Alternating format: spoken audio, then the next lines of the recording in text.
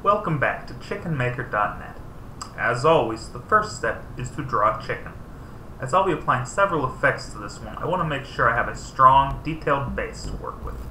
There are enough videos of my basic MS Paint chicken technique, so I won't spend too much time on it here.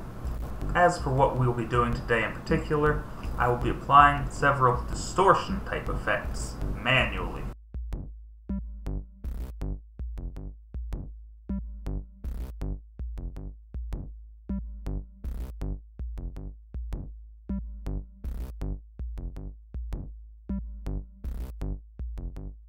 First up is a light fuzz effect. A lot of what is being done in this portion will apply to the remaining effects as well, so you might want to pay more attention here.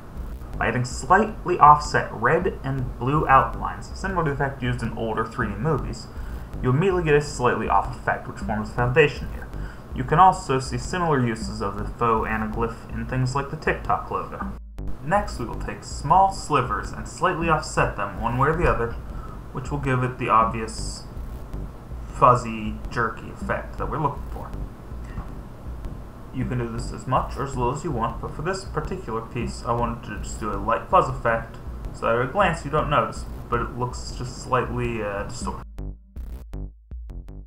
You may notice that I'm using multiple windows. This is due to my own chosen limitations, as it's more straightforward with basic graphic software features like layers.